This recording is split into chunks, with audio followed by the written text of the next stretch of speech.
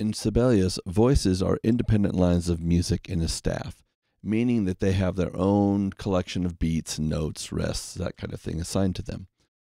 So far, we've been dealing with voice one. So if I press voice one and come over here and enter maybe some eighth notes, you'll notice that they're all blue. That's because they belong to voice one. If for some reason we want to add a second voice, first we make sure we're out of note input mode or edit mode by hitting escape twice. And then we can come over here and at the bottom of the keypad, you can see there are four numbers. So this shows us that we're on voice one. If we click this, now we're on voice two. Now we could go ahead and add some additional notes in here and you can see it gives us a complete additional voice from which to add these notes. For the most part, you're only going to see on average about two voices per staff. You can have up to four voices, but most of the time you're going to have two here, and then maybe if you have a grand staff like a right hand of the piano and the left hand of the piano, you may have two vo- additional voices on the left hand of the piano. But for the most part, you're going to deal with voice one and voice two. You probably noticed when I added the other voices so for example, let's just do this again, that the stems flip. That is because Sibelius automatically will flip the stems when you add that second voice. Usually you want your upper voice or your higher notes to be in voice one and your lower notes to be in voice two. Um, so it's important that you don't flip using X before you start entering your second set of voices because Sibelius will take care of that for you, just like it did a minute ago, and I showed that to you. You'll notice that our two voices have two distinct colors. Voice one is blue, and you're most familiar with that because everything you've been adding to your scores so far has been voice one. And now we have green, which is voice two. If we wanted to add a third voice, we certainly could do that.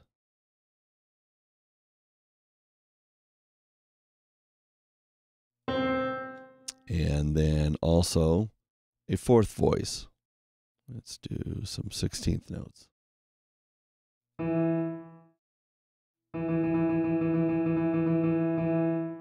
So there you can see all four of our voices purple, green, voice three was orange, and then voice one is blue.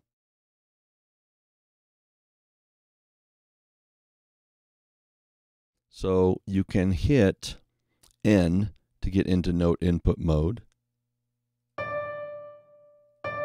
Like that. All I did was hit the letter N on the keyboard.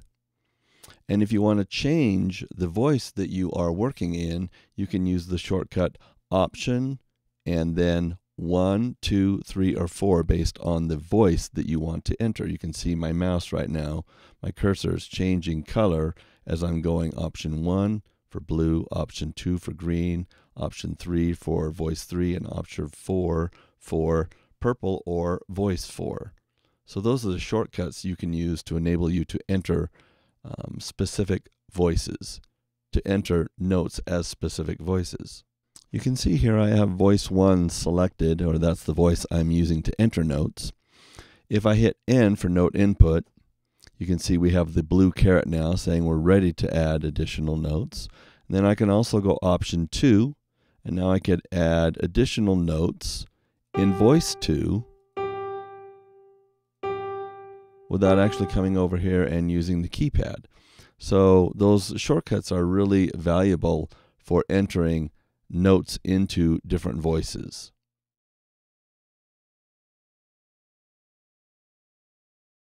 If for some reason you want to go in and actually select or edit all of the notes in a specific voice, you could make a non contiguous selection like that. But it's a lot easier to select the entire bar in this case, go up to the Home tab, select, and filters. And when you click on that, you can come down here and say, for example, voice 2 only. That's what I want to have selected. So now I could go in and place accents on all those notes for just voice 2. So that's how you make selections and select specific voices if you have multiple voices in a measure or in a segment of a piece of music.